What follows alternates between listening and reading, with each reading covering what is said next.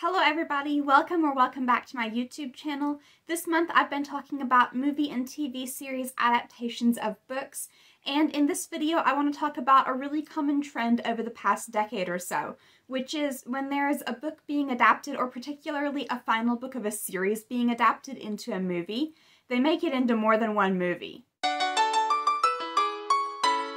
Now this isn't totally a recent phenomenon. Harry Potter and the Deathly Hallows was one of the big turning points in terms of they did it and then everybody started imitating them. But from what I was able to find, there were movies that were made in multiple parts before that, including some that were based on books. Even when not based on books, there are older movies that sometimes come in multiple parts. For instance, Titanic has an intermission built into it. That's not based on a book, it's based on historical event. But even if you get, you know, the modern version on DVD or whatever, it has like the two disc format with an intermission kind of built into it just because it's so long. I'm not sure how that worked when it was originally in the theater, but one can see why that would be a logical way to do things because plays and musicals often do the same thing. They're often significantly longer than movies, and that's one of the reasons why when a musical, for instance, is adapted into a movie, a lot is usually cut from it because musicals tend to be longer. They also tend to involve intermissions so that people can go use the restroom and get refreshments and whatnot. That's not quite the same as releasing a movie in two parts, though.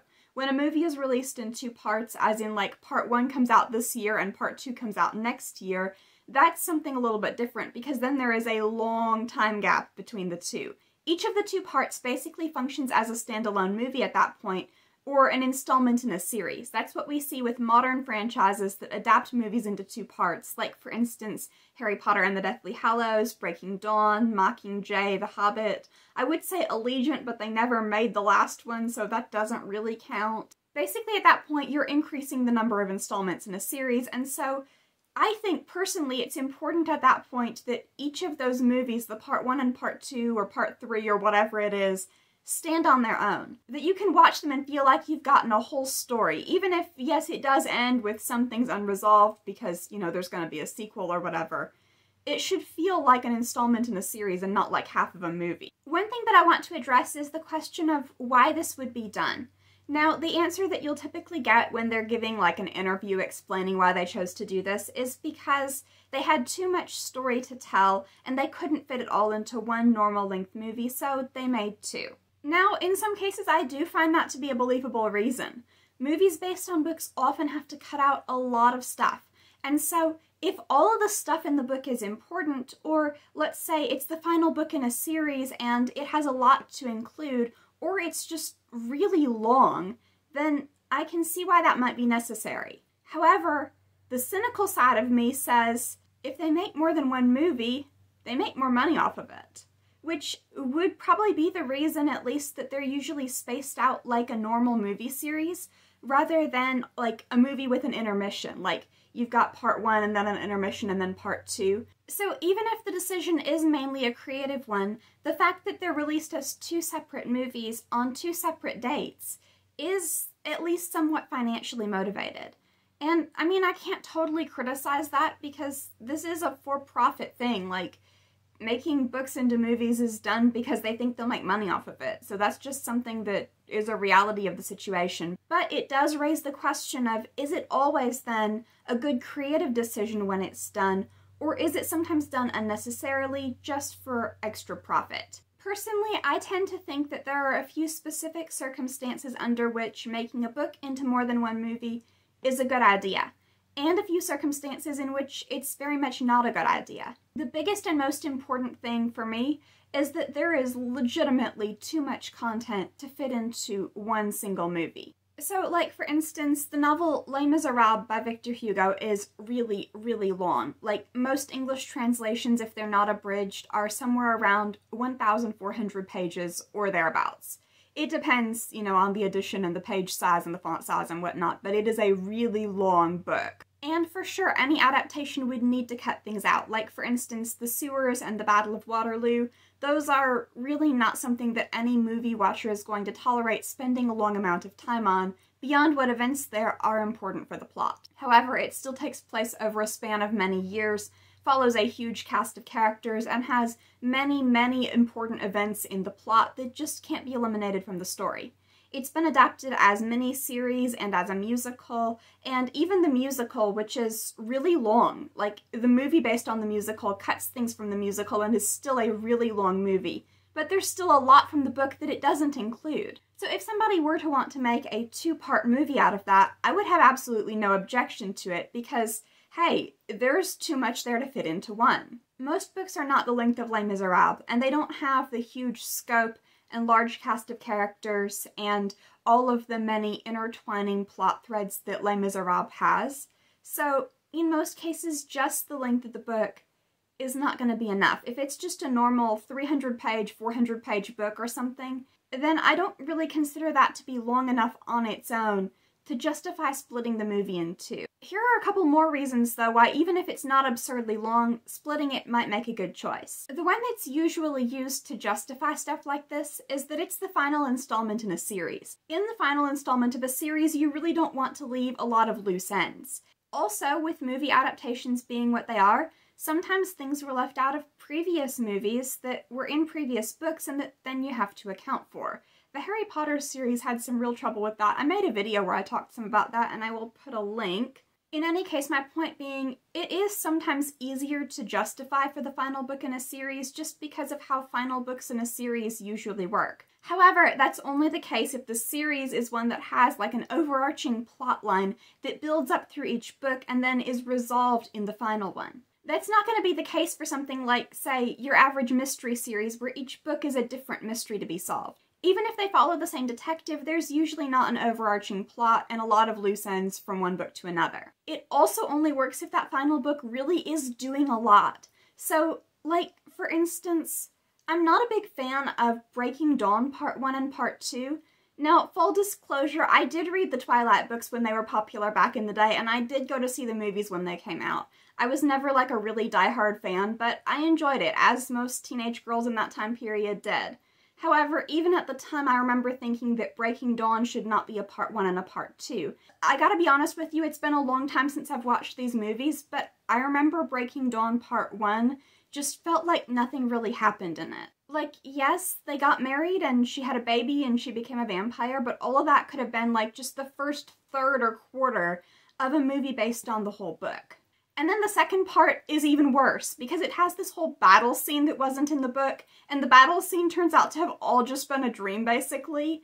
And so, like, there's this whole extended sequence in that movie that didn't need to be there. In many ways, even though it's shorter, I feel like there's a lot more justification for splitting Mockingjay, the third Hunger Games book, into a part one and a part two than there is for splitting Breaking Dawn. Because even though it's normal length, very similar in length to the other books in the series, there's a lot going on in Mockingjay, both in terms of character development, in terms of wrapping up the plot, and in terms of focusing in on the series' important themes, because I feel like if the important themes were not represented accurately, one would come away from The Hunger Games with a very wrong impression of what it was even about. And I actually have very mixed feelings about particularly the first Hunger Games movie in terms of how it handles that and how it represents the story without Katniss's first person point of view and looking at it more from the outside.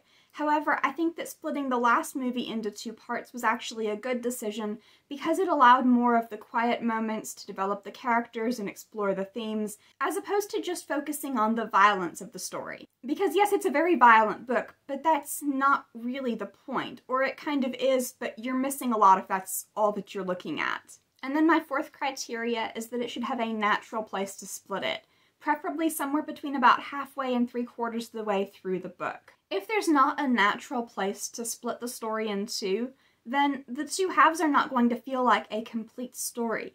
And one of the big challenges when it comes to making a movie based on part of a book is that it often won't feel like a complete story. Most stories have a beginning, a middle, and an end, and something happens early on in the story that kind of gets the plot going, and something happens at the end that brings it to what's called a climax, and then a resolution, and if you split it in the middle, you're losing half of that. So there's gotta be a moment somewhere along the way that feels like a natural place where something has been accomplished, something has been wrapped up, and then the very next thing that happens gets things going again, but with a new kind of, not necessarily a new plot line, because again, you're splitting a book, and so there's going to be an overarching plot that continues through both parts. But, like, for instance, while it's not the exact point that I would have chosen if it had been up to me, I feel like the place where they split Harry Potter and the Deathly Hallows was a pretty logical one. There had just been a battle and a major death, which echoed the endings of movies 4, 5, and 6, and it was a quiet moment where the characters were relatively safe but still had work to do, picking up again in that quiet moment and then following them on, you know, the end of their adventure. And then my fourth criteria is that it should only be split into more than one movie if you can fill up those movies without adding to it. Like, without adding new plot lines, new characters, and whatnot. And you might be able to tell where I'm going with that.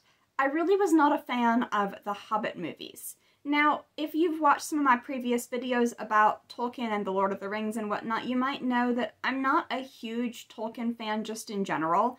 I appreciate the Lord of the Rings as an important work of literature, but it's not something that I personally find super engaging or that I go to very regularly just for pleasure reading. However, I do very strongly feel that the Hobbit movies did a huge disservice to the Hobbit book. They added so much to that story that did not need to be there. New characters, new storylines, Gandalf running around with that other wizard, the elf girl falling in love with the dwarf guy, long battle scenes that were just so drawn out and had absolutely no tension to them. The parts of the story that actually came from The Hobbit stood out in contrast to all the stuff that was added. Ultimately, I just got the feeling that there was absolutely no need for probably not even for two parts to that, let alone for three, if they had to add that much stuff to it to make those movies long enough to justify being a separate movie. So all in all, I feel like it can be done well, but it's often done badly, and I feel like a broken record saying that because I've said that so many times about different topics that I've discussed this month.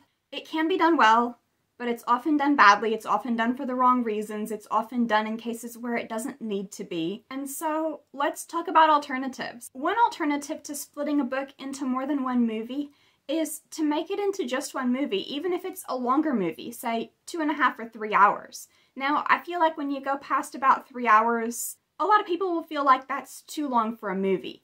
But I feel like most people who enjoy movies based on books would rather see a slightly longer faithful adaptation, or at least mostly faithful adaptation, than a shorter one, say two hours or so, that cuts important things out or otherwise just doesn't really follow the book. If the story is just a normal length book with a relatively simple, straightforward plotline and it's not the final book in a series, it's usually pretty feasible to make it into one movie, even if some things need to be cut and even if it does need to be a little bit on the longer side.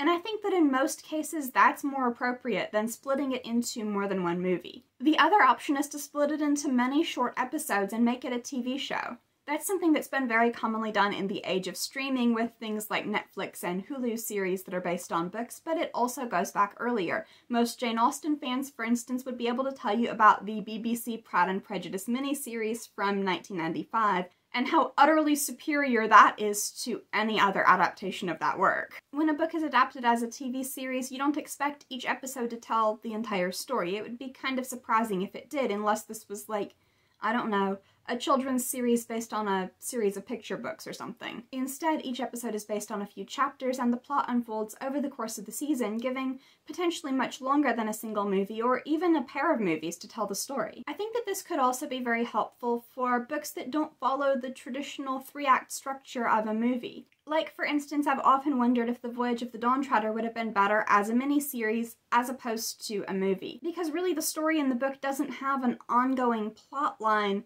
with a climax at the end and then a resolution. It kind of does in that they're on a journey, but really each island that they stop at is an isolated adventure. The movie version of Voyage of the Dawn Treader really tried to give it an overarching plot with the stuff with the green smoke from the Dark Island and whatnot, but the Dark Island, or in the book, the island where dreams come true, with dreams being like your worst nightmares basically, that was not that important as a part of the story, and it doesn't really have anything to do with the important moments at the end. Anyway, those are my thoughts on books being split into two or three movies, when it should be done, when it shouldn't be done, and what the alternatives are. I hope that you enjoyed this and found it to be interesting. If you want to see more from me, be sure to subscribe. I post new videos every Monday and Thursday.